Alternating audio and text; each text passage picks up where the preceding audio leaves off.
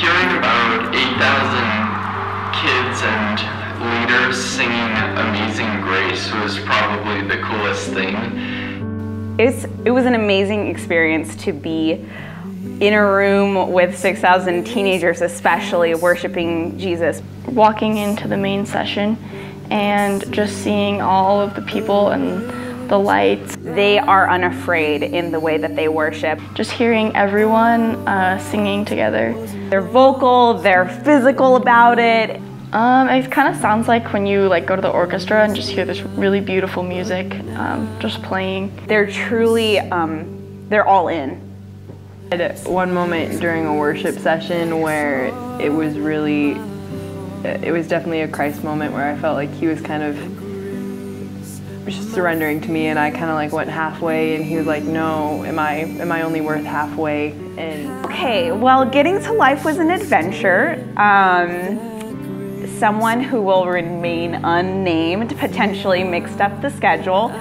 We didn't know if we would have to end up driving. Yeah, the kids dealt with it super amazing. They really blew me away.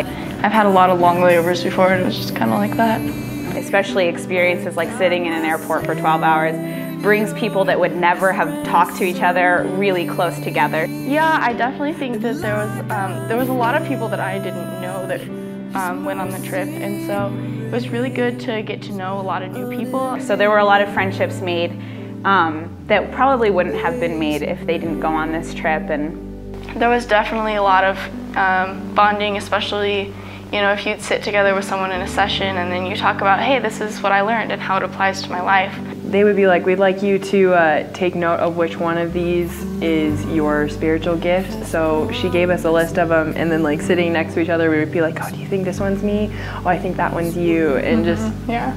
Um, I went to the women only session with um, Kayla, and I really enjoyed um, just before the session getting to sit there and talk about, I don't know, just what's going on in our lives. And they brought up how everyone who is a son or daughter of Christ is brothers and sisters. And I think that that just really needed to be heard by our youth group. on the last night, the kids all got together um, and were sort of debriefing about the day and sort of the week, really.